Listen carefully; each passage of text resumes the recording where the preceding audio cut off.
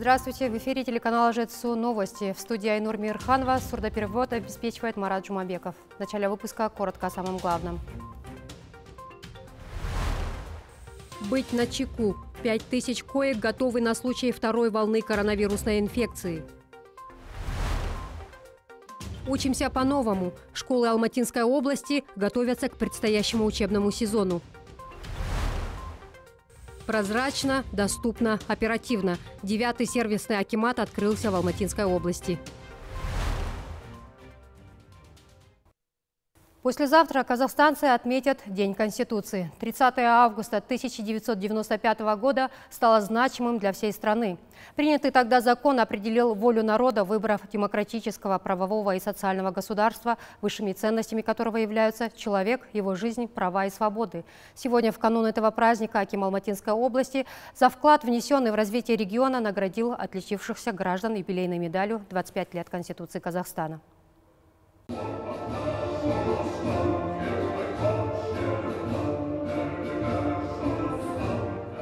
Ежегодное торжественное мероприятие, посвященное Дню Конституции, традиционно открылось одним из главных символов страны – гимном. Затем Аким области Амандык Баталов обратился с поздравительной речью к приглашенным, среди которых почетные граждане области, руководители государственных учреждений, представители творческой и научной интеллигенции, общественных объединений.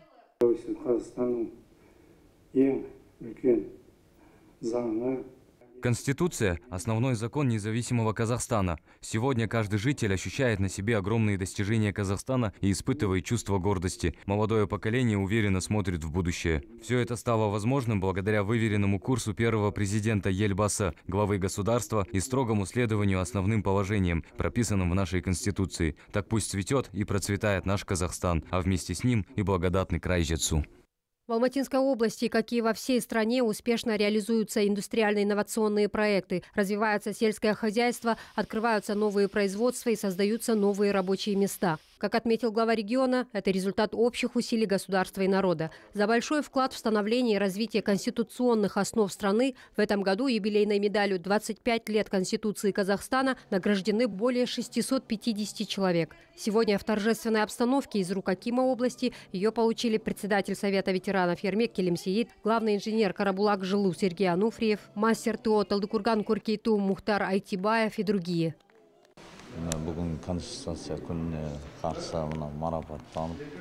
Сегодня вот в честь праздника получил такую высокую награду. Спасибо огромное, что без внимания не оставляет ратный труд работников среднего звена, таких как я, который работает обычным мастером. Это моя первая награда, и мне очень приятно. К юбилею основного закона приурочил Аким области присвоение звания «Почетный гражданин Алматинской области». Как отметил первый руководитель, ежегодно этой честью удостаиваются лишь 10 самых заслуженных людей. И отрадно, что в канун праздника в список вошли сразу три представителя сферы культуры, и все они сотрудники театра имени Бекенримовой. В этом году в стране происходит очень много значимых событий. 1150-летие Аль-Фараби, 175-летие Абая. Приурочив к этим датам, мы подготовили спектакли. Большой особенный праздник для каждого казахстанца – День Конституции. В этом году ей 25 лет. Тоже юбилейная дата. Особенно этот год и для нашего театра. Нам 45 лет. Поэтому получить награду в такой знаковый год особенно приятно. Надеюсь, уже очень скоро наш театр снова распахнет свои двери зрителям. Для деятелей культуры, чьи праздники за пандемией, внесшие свои коррективы, остался без внимания, этот день ознаменовался двойным событием. Во Дворце культуры Талдыкургана ценные призы, нагрудные знаки «Отличник культуры» и благодарственные письма Акима области приглашенным вручил заместитель Акима области Рустам Али. Награждение прошло в пяти номинациях. Главную награду завоевал лучший музей Анага Курмет в Карасайском районе. Весомую премию получил лучший народный театр села Мукры Коксусского района. Лучшим народным коллективом признан вокальный ансамбль «Сударушка» из города Капшагай. Хочу выразить глубокую благодарность за оценку нашего труда. И всех с праздником, несмотря на наши сейчас такое время трудное. Всем здоровья, всем здоровья, счастья и будем работать дальше. Айнур Мирханова, Нуржан Муканов, телеканал ЖТСУ, Талдыкурган. Пять тысяч коек готовы на случай второй волны коронавирусной инфекции. 10 больниц оснащены кислородными станциями и жизненно важный газ подведен в каждой палате. Однако, по мнению Акима области, еще предостаточно вопросов, поскольку мелочей быть не должно. Главное – минимизировать распространение вируса. И прежде всего свести к нулю смертность. Потому в процессе рабочего совещания о ходе противоэпидемиологических мероприятий рассмотрены все детали, как технического оснащения, формирования кадрового потенциала, так и создания условий для медперсонала и вероятных пациентов. Назгуль Бушан продолжит. Статистика заболеваемости снижается. Звонки в скорую сократились с 980 в пиковый период до 216. Однако эксперты, в том числе Всемирной организации здравоохранения, предупреждают о новой волне пандемии. И к ней мы должны быть готовы. По Алматинской области основными определены областная многопрофильная больница и многопрофильная больница Талдыкургана. В целом же в регионе на случай второй волны отводятся 5000 коек. 1200 из них с точками доступа кислорода. Это 40% обеспечено обеспеченности. К сведению, по нормативам Минздрава обеспеченность кислородом должна быть не менее 20%. Сейчас я говорю про подготовку ко второй это, волне пандемии. Два реанимационных отделения мощных и плюс все палаты. Но во все палаты как в реанимации не сделать, правильно? Но туда надо подвести каждую палату, где будете ковид лечить, туда надо подвести кислород и вот этот монитор. Плюс еще к нам добавится вот эта быстро возводимая инфекционная больница. Она будет готова уже в самое ближайшее время. Новая модульная инфекционная больница на 200 коек, из которых 20 реанимационные, откроется уже в начале октября. 452 ставки только персонала. Кадровый состав формируется сейчас. Как доложил руководитель управления здравоохранения Омарзак Ниязбеков, дефицит специалистов имеет место, но решить его можно поэтапно. На данный момент на открытие нам ровно 66 врачей не нужны, нам достаточно будет 25-26 врачей. Потом дополнительно уже мы будем доукомплектовывать их. Э, будем, пере... Э, значит, у нас договоренность есть Казахстанско-Российским медуниверситетом. Вчера проректор приезжала с деканом, они открывают здесь у нас базу свою, и они будут базироваться здесь. Реаниматологов дают, инфекционистов дают, терапевтов, акушер-гинекологов и хирургов. Решается и вопрос обеспечения специалистов нового лечебного учреждения жильем. Временно, но им будут предоставлены комнаты в общежитии медицинского колледжа. Поскольку первое время занятия будут вестись дистанционно, то свободных помещений много. Для больниц в районах закуплены 12 передвижных медицинских комплексов. Практически это поликлиники на колесах. 18 рентгенаппаратов, 13 компьютерных томографов используются в диагностике на сегодня. Еще три будет закуплено в ближайшие дни. Для искусственной вентиляции легких есть 288 аппаратов аппаратов, 388 ожидают подвоза. Для оказания оперативной помощи экстренным пациентам имеются 634 концентратора, еще 310 в пути. Для удобства и повышения оперативности в лечении пациентов больницы условно разделены на категории. По подготовке, Амандович, медорганизации задействованы в борьбе с ковидом. У нас по первой категории определено 10 медорганизаций, в том числе и вот эта новая модульная инфекционная больница. А, на 1500 коек. Если у нас раньше а, по КВИ было 520 коек, это инфекционные койко-места, то в этом первой категории мы довели до 1500. Второй категории будет 19 медорганизаций, 2780 коек. И по вашему поручению два ковид-центра на базе Алматинской многопрофильной больницы, где там 350 коек, и Талдыкурганской многопрофильной больницы 370 коек. Всего к осенне-зимнему периоду будет развернуто там 5 тысяч коек. Мелочей в подготовке к возможной второй волне коронавируса быть не должно, отметил Аким области. Потому поручил разработать дополнительное предложение о закупе необходимых средств и препаратов, чтобы не допустить распространения вируса и упредить возможные потери. Нам главная задача минимизировать это заражение. А самая главная наша задача – уметь лечить и уменьшить смертность. Назгуль Бушан, Абзал Нусипов, телеканал ЖТСУ.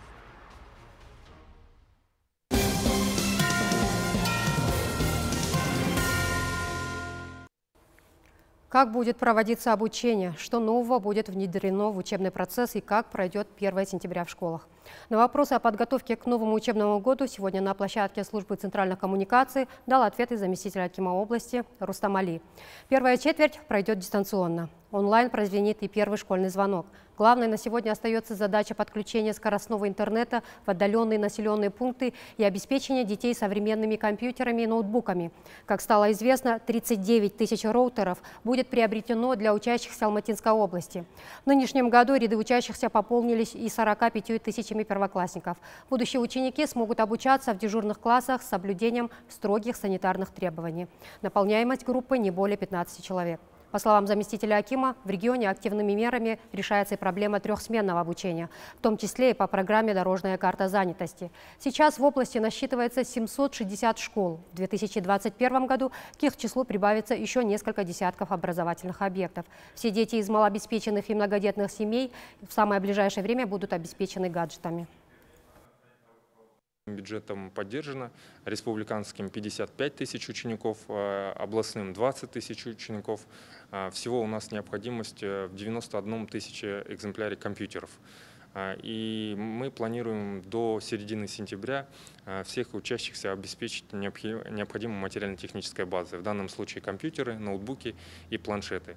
А, также есть э, необходимость в доступном интернете. 742 населенных пункта, из, из них в 19, к сожалению, интернет отсутствует. Поэтому руководством области было принято решение совместно с республиканским бюджетом, а, будет закуплено порядка 39 тысяч роутеров. На старте 115 дежурных классов создано в Волокольском районе к началу нового учебного сезона. В них будут обучаться более 1200 детей. Учеба в традиционном формате коснется исключительно первоклассников. Для остальных учеников занятия пройдут дистанционно. Насколько готова система образования района в период пандемии, выяснил Ануар Амингельдинов. Многодетная мать Гульшат Абжанова к 1 сентября готовится основательно. Все трудности дистанционного обучения она знает не понаслышке. У нее сразу 7 учеников, еще малыш на руках. Для всех современных гаджетов не хватает, да и учиться через смартфон не совсем удобно. На помощь пришел Акимат. В преддверии нового учебного года многодетной семье подарили мощный компьютер. Это не первая помощь, которую нам оказывают. До этого нам помогли с приобретением школьной одежды. Затем дали наборы канцелярских товаров для детей. Теперь вот компьютер у нас есть. Для нас с мужем это большая помощь, так как одной зарплаты супруга не хватает для того, чтобы всех обеспечить гаджетами. Большое спасибо всем тем, кто нам помогает. Очень приятно, что о многодетных семьях думают и заботятся. Всего перед началом учебы компьютерами обеспечат более 2700 многодетных и малообеспеченных семей района. На сегодняшний день уже 90% из общего числа получили современные устройства. Предстоящий учебный сезон станет серьезной проверкой проверкой на прочность не только для учеников, но и для учителей. Учить по-новому с учетом нынешних реалий учатся и педагоги. В течение всего лета наши учителя проходили онлайн-курсы по тому, как нужно работать с детьми во время дистанционного обучения. Сейчас они все у нас сертифицированные специалисты. Поэтому, думаю, с задачей, возложенной на них, они стопроцентно справятся. Помимо дистанционных занятий, наши учителя будут преподавать в четырех дежурных классах. В нашей школе обучаться в традиционном формате будут 33 первоклассника. Перед началом учебы с родителями и учителями проведена разъяснительная беседа о соблюдении норм санитарной безопасности в школе. Безопасность детей превыше всего. Строжайшая Строжайшее соблюдение санитарных норм – главная задача в новом учебном году. Для измерения температуры школы уже оснащены тепловизорами. На входе установлены дезинфицирующие туннели. Все классы укомплектованы антисептиками и дисковриками. Чтобы дети соблюдали социальную дистанцию, везде расклеены разметки и памятки. Районным отделом образования на сегодня проверены все школы. В каждом учебном заведении имеются все необходимые средства защиты и информационный материал по соблюдению норм санитарной безопасности. Всего в Волокойском районе сформированы 115 дежурных классов. В них будут обучаться 1258 детей. Все это ученики первых классов. Традиционной линейки, впрочем, как и по всей стране, не будет и в школах Алакольского района района. Первый звонок прозвенит онлайн. Для этого уже готова программа проведения классных часов. Ануар Амангельдинов, Абзал Нусипов, телеканал «Житсу».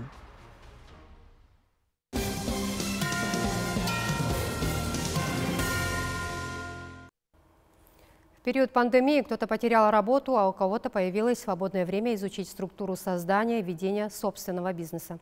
В результате из числа слушателей онлайн-курсов «Бизнес-Баста» у Палаты предпринимателей еще 13 человек твердо решили работать на себя и даже выиграли гранты на старт своих бизнес-проектов.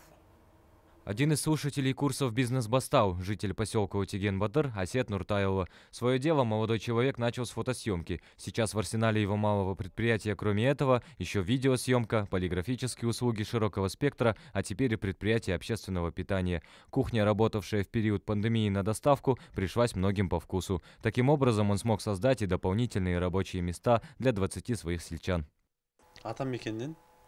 Э, У Атамикена мы взяли кредит в 6 миллионов под 6% годовых. На эту сумму купили широкоформатный печатный аппарат. Работаем с его помощью. Даже в карантине, несмотря на уменьшение количества клиентов, смогли продолжить работу. Спасибо Атамикену за этот проект. Наша типография понемногу работала, но спрос на услуги сильно упал. Мы решили открыть кафе. Работаем уже три месяца, занимаемся доставкой на дом.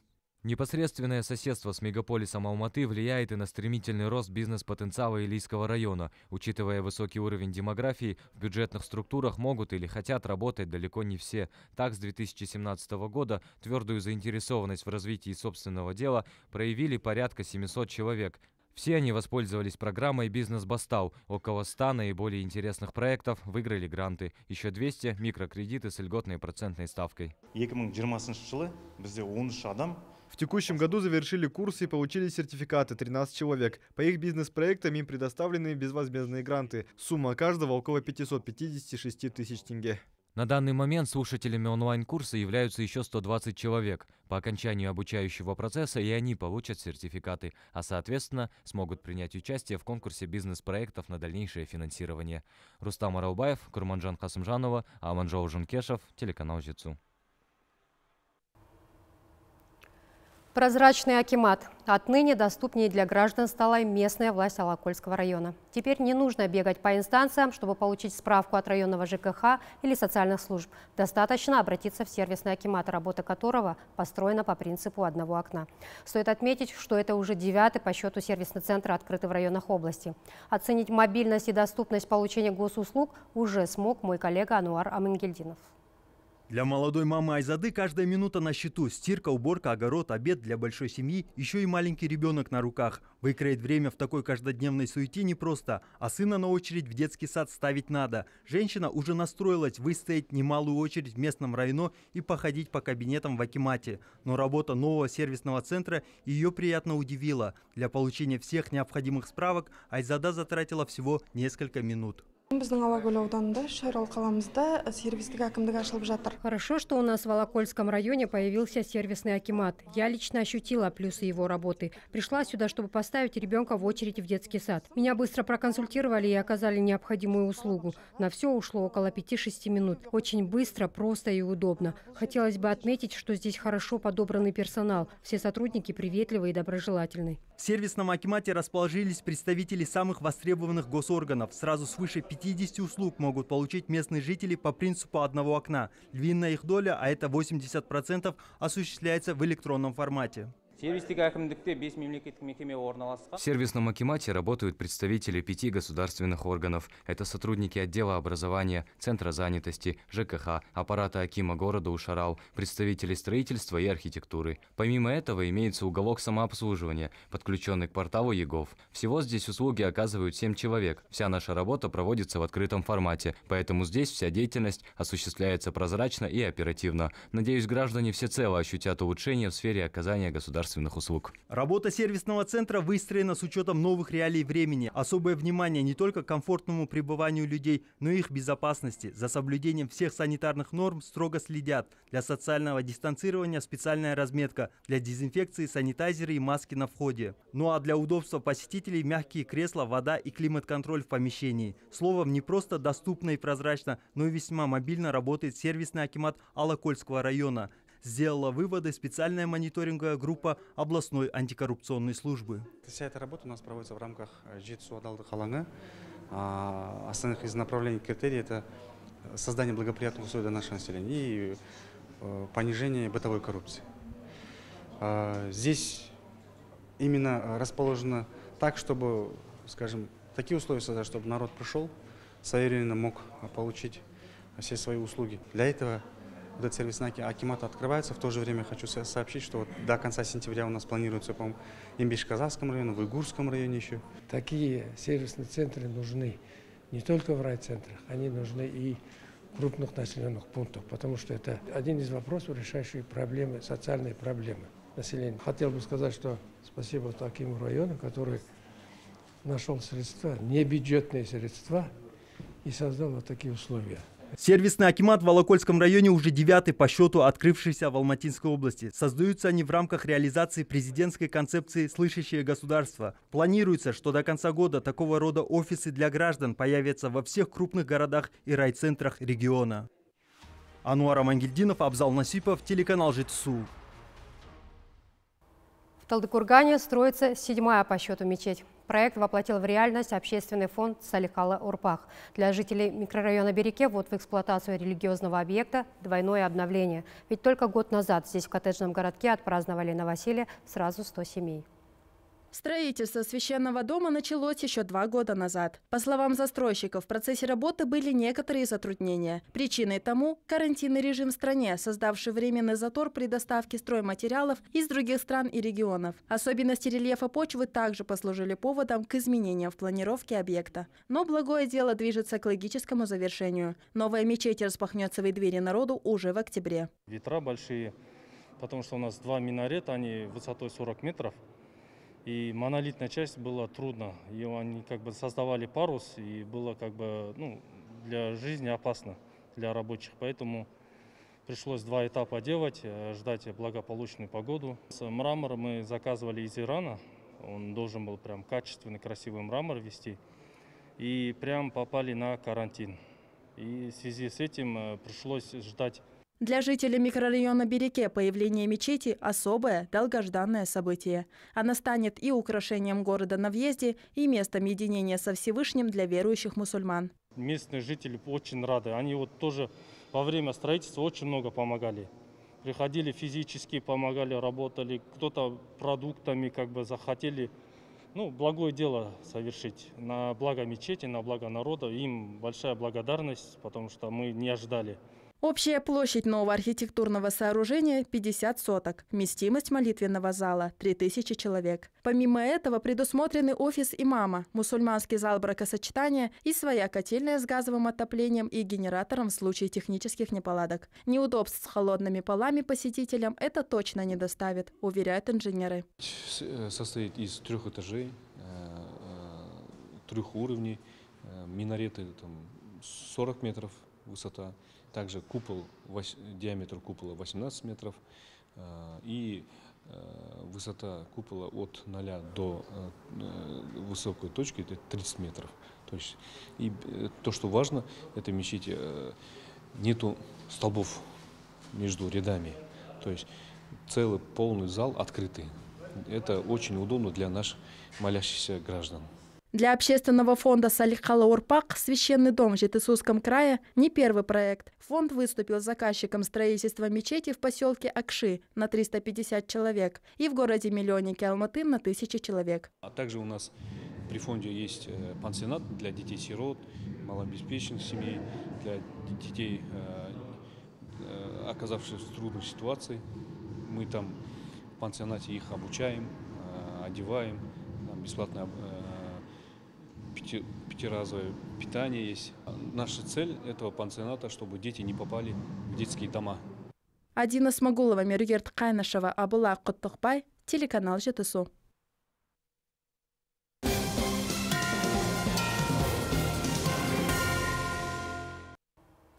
Областная сборная по джиу-джитсу возобновила тренировки. Важно вернуть пиковую форму каждого спортсмена, поскольку не за горами чемпионат мира в Абу-Даби. Первые крупные соревнования джитсеров ожидают в октябре в России. Это первенство поможет выявить сильнейших на чемпионат мира. На данный момент тренеры ожидают высоких результатов от шести спортсменов из числа мастеров спорта международного класса. Будет проходить чемпионат мира в Абу-Даби среди взрослых и среди молодежи. Надеемся на Удабаев Маржан, так, на Шумадль Ельжан, э, Садыров Дамир.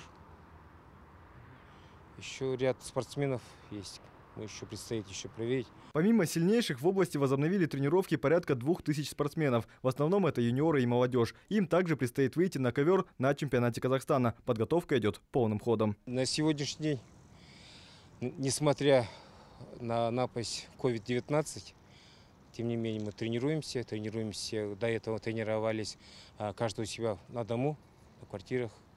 Тренировки проходили онлайн, в режиме онлайн. Подготовка идут как сказать, ну, э, стабильно. На улице у каждого э, свой, свой напарник. Стоит отметить, Казахстан в прошлом году стал вторым в общекомандном зачете на азиатских играх. Немалую долю в это достижение внесли спортсмены Алматинской области, и потому ставка на наших высока. Алексей Цойжар, Конжентаев и Аблай Кутыкбай, телеканал ЖТСУ. Такими событиями был насыщен сегодняшний день. А я с вами прощаюсь. Увидимся в понедельник.